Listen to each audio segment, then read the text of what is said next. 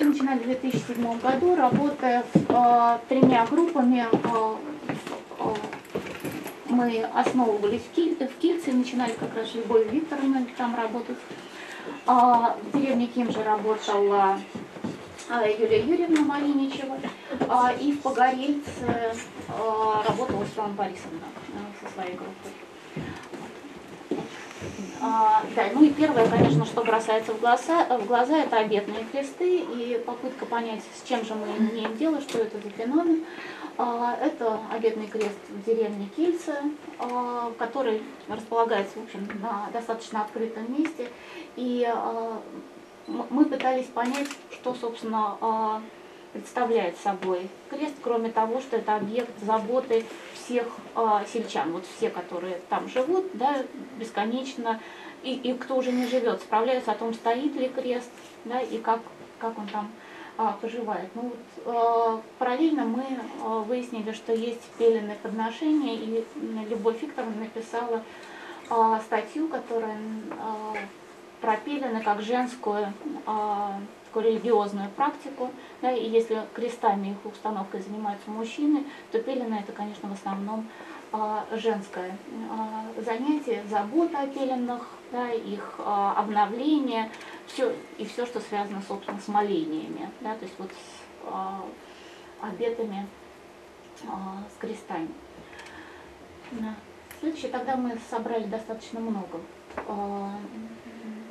материала по поводу а, крестов, и поэтому, опять же, по поводу обетных крестов, мы а, разговаривали с людьми, чтобы понять, а что подвигает людей поставить крест и заботиться о нем. Какие религиозные переживания с этим связаны, и очень интересное подтверждение вот этому внутреннему религиозному чувству, не нуждающемуся а, в посредниках, да, в тех, кто будет проводником в мир религии, а то, что каждый человек отвечает за свои отношения с Богом, были слова покойного отца Алексея про то, что любые формы богопочитания да, хороши, э, слава богу, что они есть.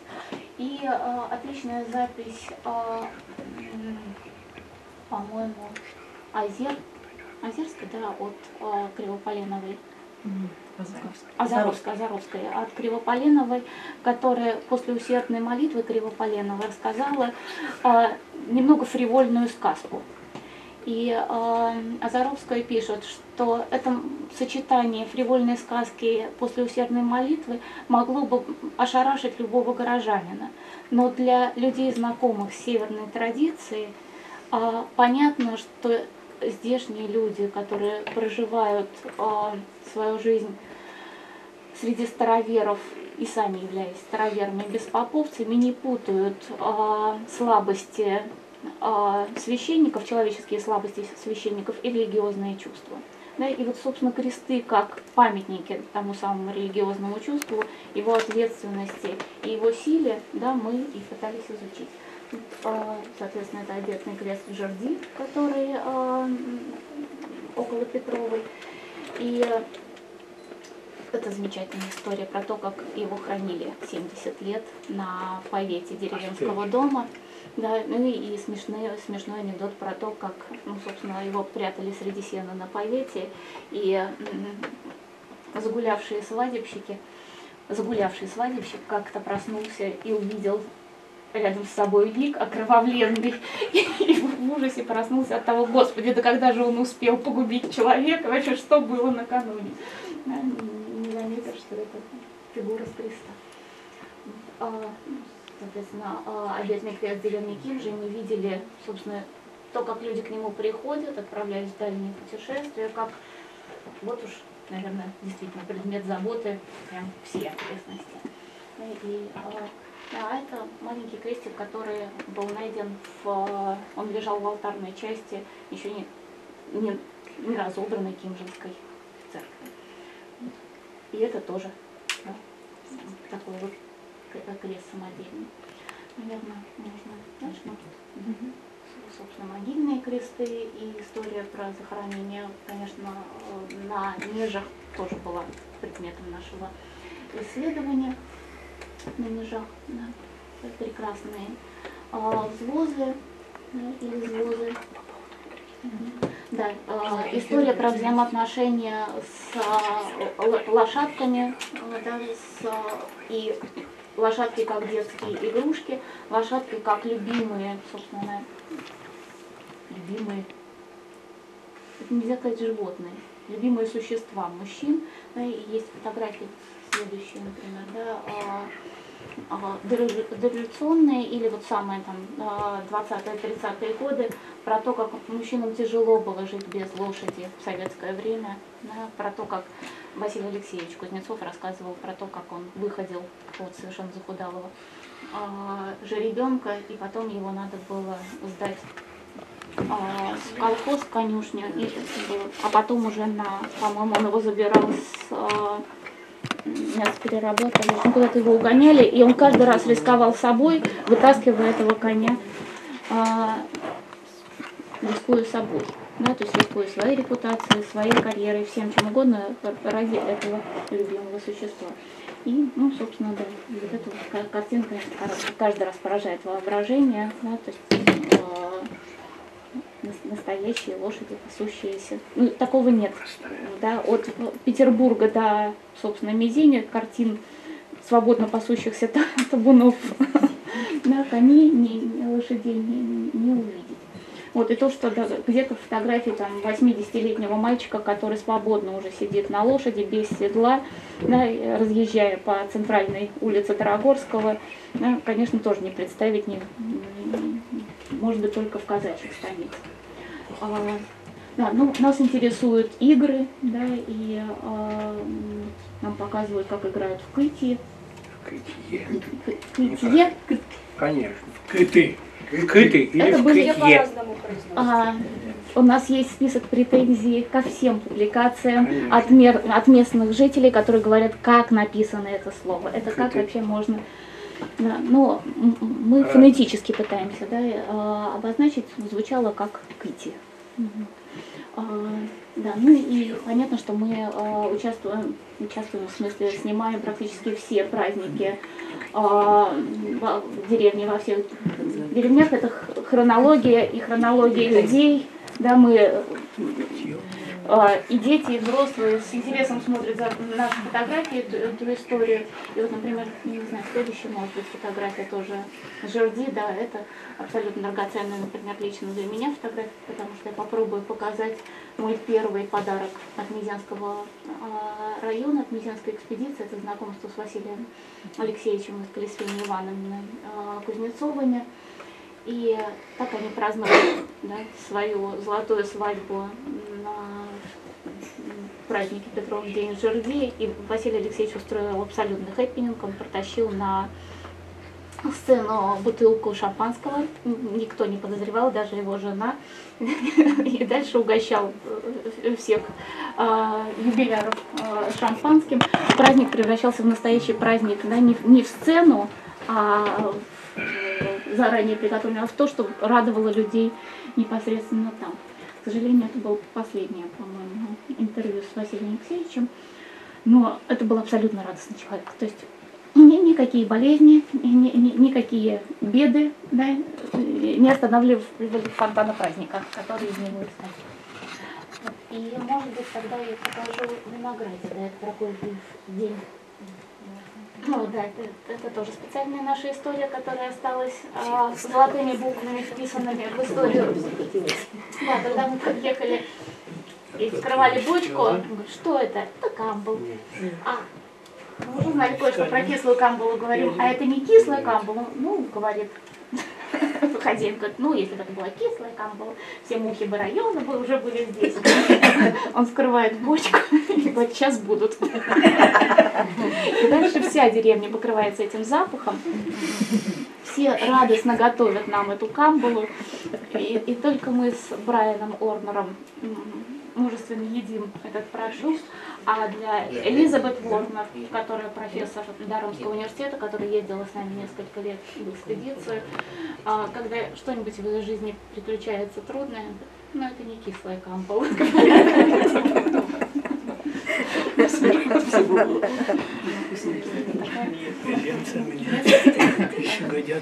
Да, но мы, мы понимаем, что это элемент да, этнодиеты, да, что это абсолютно необходимая вещь, да, и, э, да, и с этим антропологу тоже надо иметь дело и мужественно пробовать.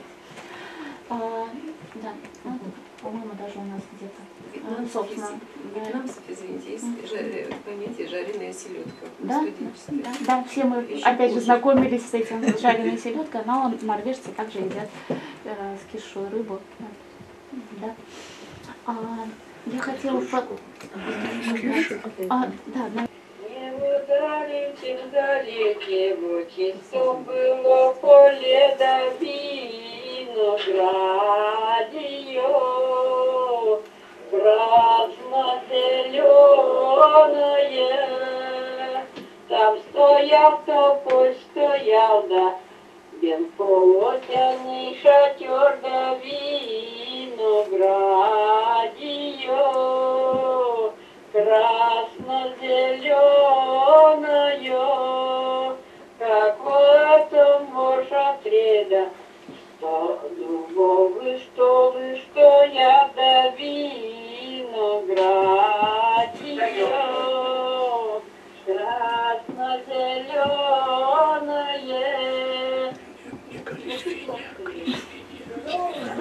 Да, что Кицвин Ивановна заметила, что я ее записываю, но она, они спели потом вдвоем, целиком в винограде, фантастическое по красоте.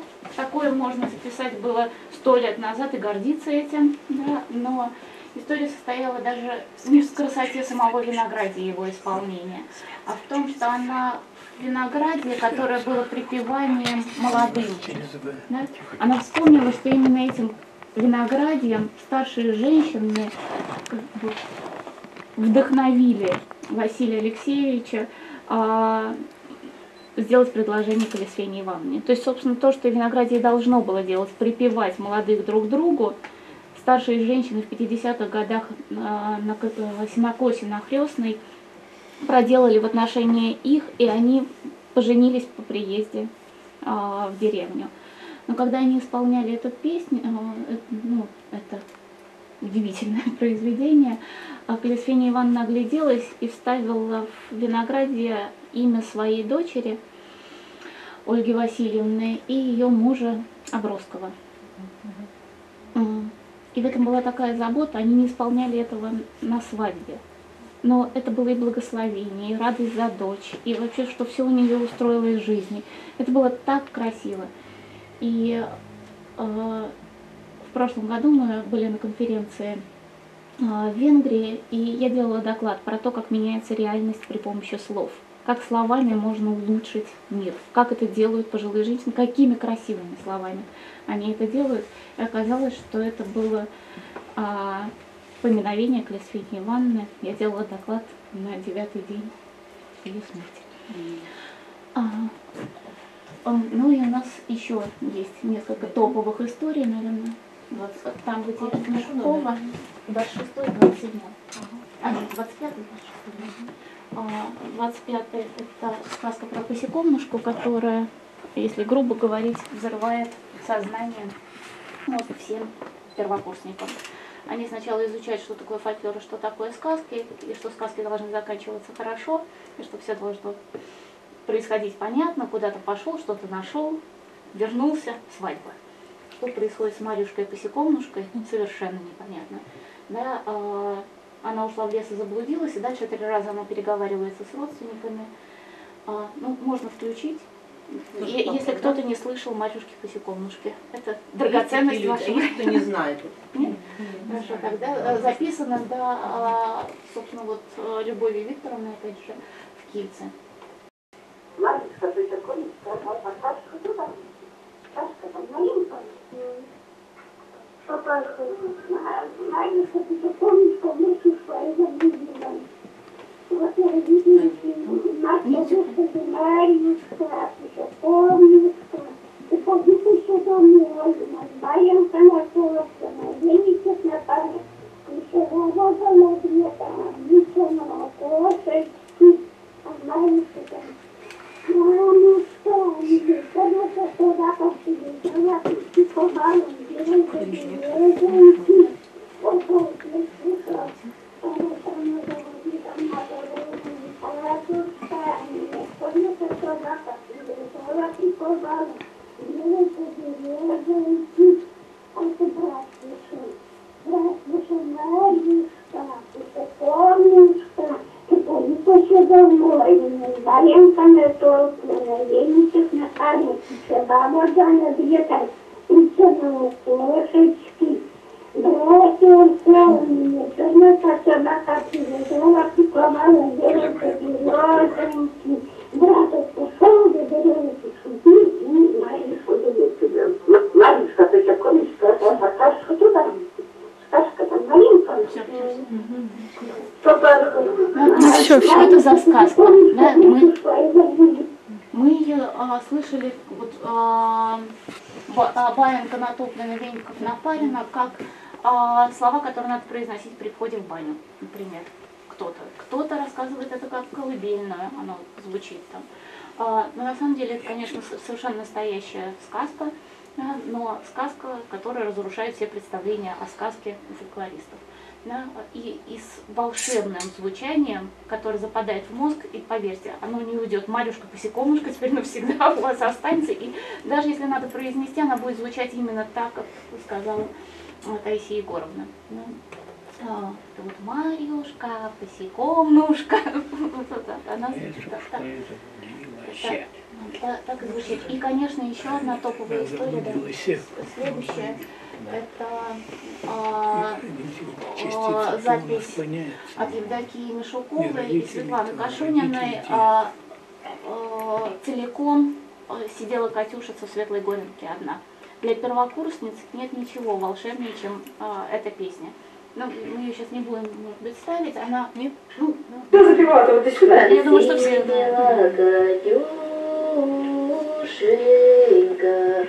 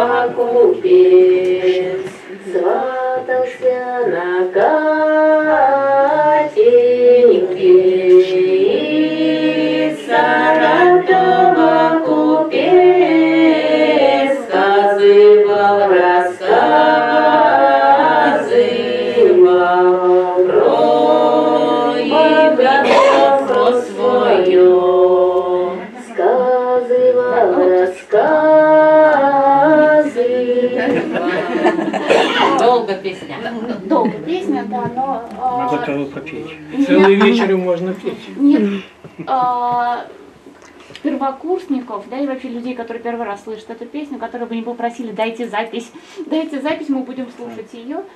А, и, конечно, это вдохновляющая история про то, что не имение определяет счастье. Да? Ни купцы, ни губернаторы, да, а, музык- а музыканты, да, а, Скрипка да, завсегда и весела, пьяная и не пьяная, завсегда и весела. Да, вот э, это да- дает девушкам надежду, что, что выбор может быть по любви. А, и а, так мы, поскольку у нас история так устроена, что кроме того, что мы записываем интервью с людьми, биографии их жизни, и как фольклор, собственно, встроен в их жизнь, как он, а, как песня это способ сказать о себе, пропеть свои печали и свои надежды, да, как, а, собственно, виноградие это способ изменить реальность, как причитание это способ выявить горе в крайне критической ситуации, да, найти слова. А это, наверное, самое важное, когда, в общем, ничего не остается да, в, в горе. А, кроме того, что мы расшифровываем да, вот эти вот а, интервью и сохраняем, собственно, фольклор, а, наши коллеги, младшие коллеги, мы сами пишем статьи и отчеты по результатам экспедиции. И, собственно, часть представлена да, в, этих вот двух книжках «Коммуникативные конвенции. Социальные сценарии» и а, «Речевая и обрядовая культура а, русского севера». И а, у нас огромный архив, собственно, еще не опубликованных отчетов по двум районам. Приблизительно как пополняются наши а, за од- ну, поездку на ар- архив, архивный архив Санкт-Петербургского университета. Это более двух тысяч фотографий каждый год. На- самом деле сейчас становится гораздо больше. А, Сотни часов видеозаписи. Это еще 2009, когда у нас не было в каждой группе видео.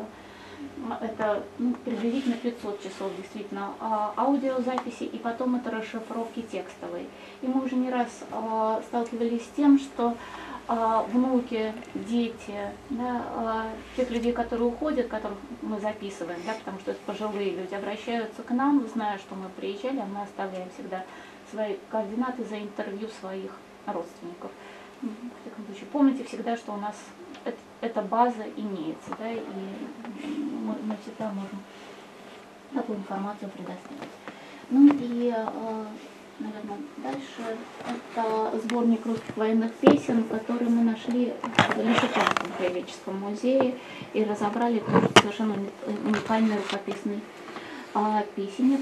А, дальше, наверное, да, и там была вот м, пьеса о царе Максимилиане, абсолютно тоже памятник удивительный а, пьеса, которую разыгрывали солдаты, а потом они привозили это в деревню. Это такая игра про царя Максимилиана и, э, да, и царя Ирода.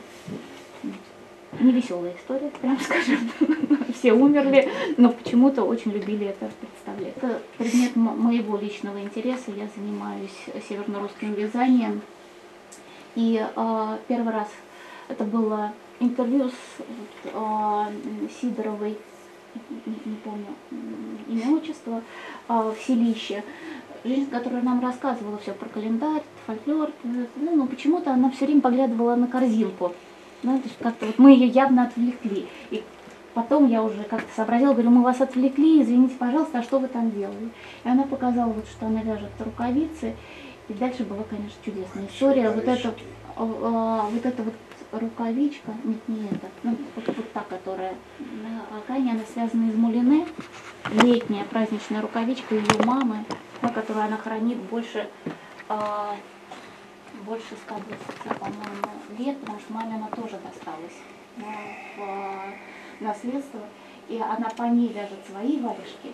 Да, и получается, что таки можно проследить следы, траектории да, женской миграции, как из одной деревни они со своими варежками перевозят узоры в другие деревни, набирают там репертуар узоров, и это, это фантастическая красота. Вот если представить все да, узоры, которые бытуют на территории этих двух районов, это хватит, ну не знаю, для нашей национальной идеи, для оформления всего, да, э, всего дизайна на нашей страны без всяких, ну, то, что называется, фейковых, да, придуманных, нечестных историй. Женщины Мизянского и Шконского района ну, навязали красоты на всю нашу страну с лихвой. Да, ну и, и дальше, конечно, про то, сколько они вязали, как они обвязывали внуков, детей, в какой-то промышленном масштабе, да, 200 варежек в сезон. Да? Это вот как, как можно утеплить родню, да, на, на сколько лет вперед. Не говоря уж о красоте. как это мужская история, да, лишь м, Шипонский народный хор, да, и, собственно, те наследники вот этих вот прекрасных певцов, которые а, музей Деда Мартына, по которому мы сняли, мы сфотографировали его целиком. И а, у нас на сайте www.folk.ru есть такая гляделка, ходилка по северно-русской избе, да, в которой снятый в панораме можно двигаться и дальше, например, навести на дверь, да, и будет рассказ, что значит дверь и порог северно-русской избе, все, что связано с фольклором, представлениями, обрядами, заговорами, лечениями, да, а, по поводу двери, по поводу окон, по поводу печки, да, вот такая вот у нас интерактивная история Это на какой, сайте имеется. какой год это вот снято? А это 2009. Да, да, да. Они вот сделали такой черный музей. Да, а, ну, наверное, это уже Они ведь еще и нитки сами красили. Вот сейчас продается в магазинах очень много. Я у бабушки видел, когда маленький был, целый ящик красителей. И такие краски как бы яркий. Да, вот, вот, вот про красоту и яркость, про то, что это не цыганщина и не китайщина, а это умение так сочетать много, многообразие цветов. Да, если рассмотреть каждый костюм, то это сочетание 7-8 а, цветов в одном костюме. Так же, как 7-8 цветов в каждой варежке. Да, и вот как раз я... Да, да, а, разнообразные а, обряды с ряжениями, с переодеваниями. Да, вот, э, охотники, которые вваливаются в дом. Да, а, ну, женщины, да, переодеваются охотниками, устраивают, конечно, совершенно фантастические истории. Это везут свекровь на второй день свадьбы в Лешуконском районе, измазанную сажей в баню мыть. Да, это, Украли. это, э, эти фотографии дало нам, дали нам возможность увидеть техники тела, как сидят деревенские женщины. И, да, видно, что сидят с прямыми вытянутыми ногами, так они моют детей в бане, да, пеленают. Ну, то есть семейные альбомы хранят огромное количество этнографических свидетельств. Да, ну, похоронные фотографии, конечно, тоже возможность установить э, и степень родства, и как раздается наследство, и как эти самые варежки оказываются на помине розданными. Обратите внимание на свои семейные альбомы с точки зрения фольклора и. Очень.